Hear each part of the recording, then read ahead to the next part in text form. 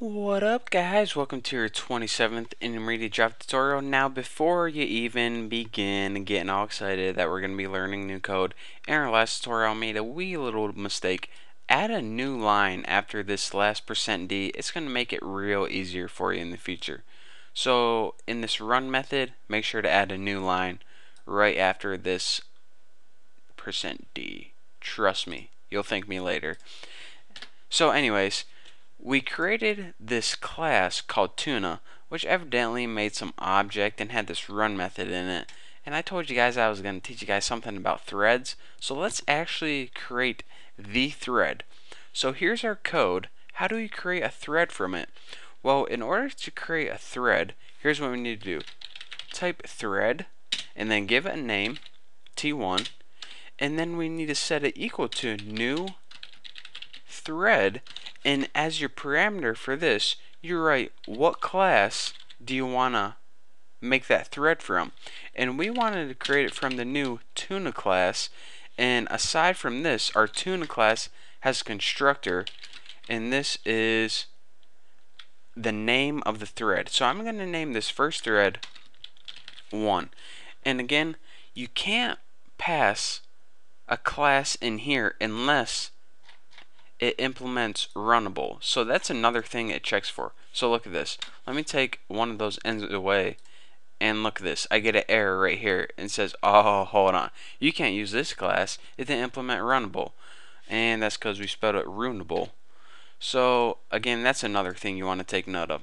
So what this does is it creates a thread object from this class. And again, all this thread is going to do is it's going to give it a name, give it a time, and put it to sleep. Pretty much the most boring thing you can do to a thread. So let's go ahead and I told you guys, unlike regular code where you run something one, two, three, four, all of these things are going to run simultaneously. So let's go ahead and let me prove that. Um, let's go ahead and make two, three, we'll go ahead and make four threads and name them all. Two, three, four. So now we essentially have four different objects and each of those are on their own thread.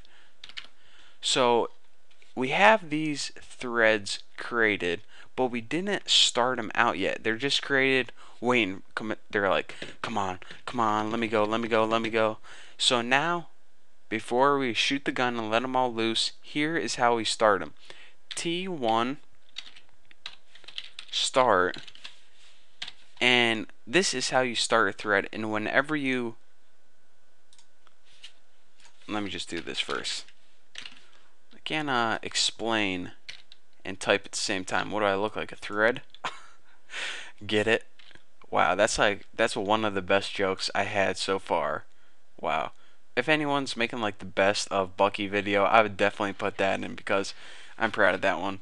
And I'm probably going to use it in my uh, like the next five tutorials. So just let that sink in for a moment. And anyways, so instead, well, let me go ahead and run this. See, I keep thinking of ways to make this easier for you guys. Whoa, easy there, Haas. Alright, let's scroll up. And alright, so here's what we got. We ran this in order. One, two, three, four. But now it says 3 is sleeping, 2 is sleeping, 4 is sleeping, 1 is sleeping.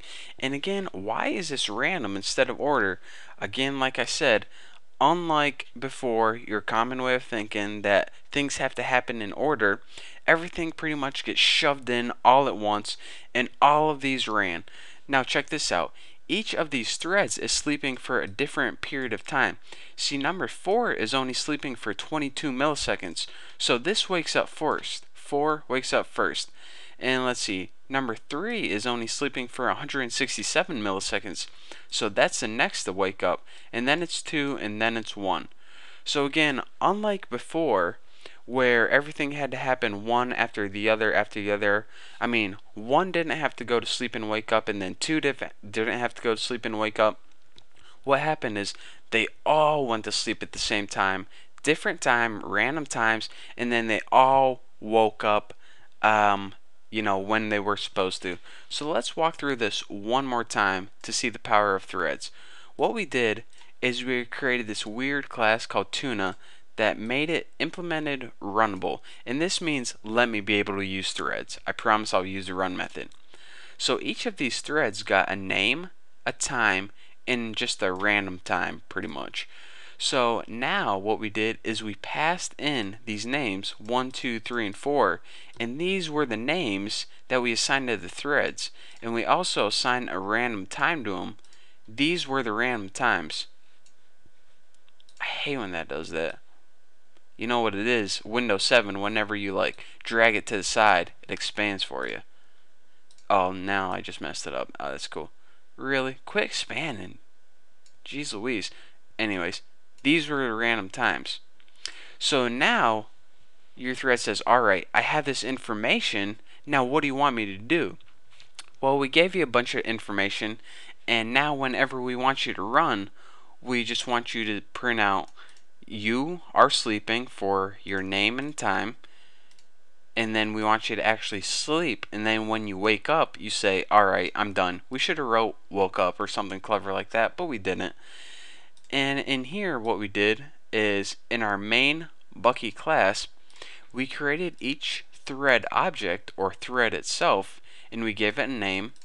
And then once you created it we had to start it out. And start pretty much means call the run method on it. That's all it means. So I mean in this example, it wasn't the greatest of showing you how threads can be used because all we did is made some random things and put it to sleep. But whenever we start creating useful programs, which we don't do very often, do we? But once in a while we do, then you're going to see the power of threads.